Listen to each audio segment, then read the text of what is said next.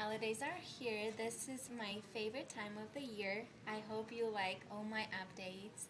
Um, I would love to uh, say one more time Merry Christmas to you from bottom of my heart and all the troops overseas. I love you and come home soon. Mm.